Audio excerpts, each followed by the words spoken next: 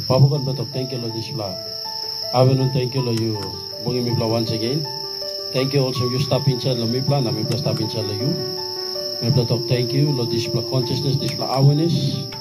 Where it's a miracle in itself. This awareness has produced a lot of results. It has saved a lot of lives, healed many people, deliver many people, set people free, even raise people from the dead. We thank you.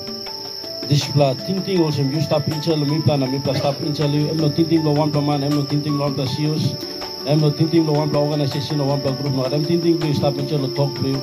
Lo John chapter 14 verse 23 it goes if you love me and love the words of my father my father and I will come and make our home. We will dwell in you.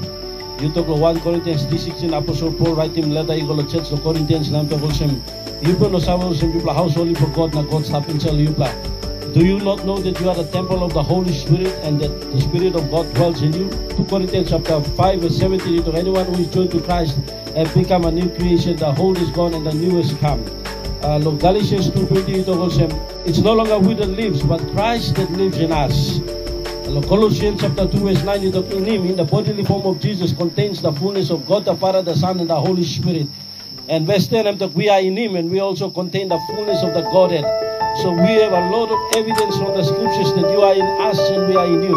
That consciousness, that awareness, for you that you like a man was have because when you have created a human being, you have created a physical vessel, an entity where you can dwell in, you can possess and walk in this physical earth. And that human being is a legal access into this earth. And Lord, we thank you, we bless you. We give you all the glory, praise, and honor. This evening as we sit under the counsel of your word, us this evening. We bless you and we thank you that you always speak to us, always